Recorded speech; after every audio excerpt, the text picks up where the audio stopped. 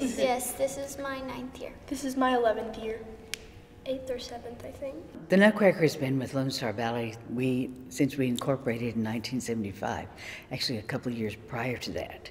And it was, uh, it was a, a wish from Sybil Harrington that we would have a community uh, performance of the Nutcracker and that we would use children in children's parts and we would invite a guest couple to come in and do Sugar Plum and Cavalier. And so that's what we've done for all these years. Our, our Claras this year are like uh, 12 and 13 years old. That age group is a, is a an age group that loves this kind of story. So it's fun to have the Claras at that age so that they are the same age as a lot of the young girls who have these kind of dreams of Christmas and and um, that first romance, that first love of their lives, you know. And they all um, aspire to be Clara, um, and it's a wonderful part uh, for a young girl to play. Um, I would say it's really a big deal. Yeah.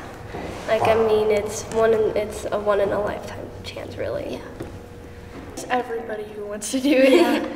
I mean, you're the center stage. I mean, it's something that everybody wants to do. Uh, there's a lot of steps going through your mind.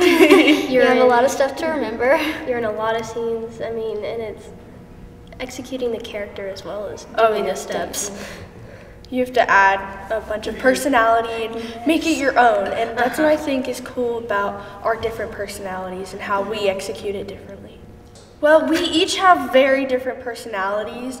Um, we have one of every kind, pretty much. We have three Yeah. different kinds. So it depends on the um, scene. Yeah. The different scenes, you're required to act differently. You're required to do something different.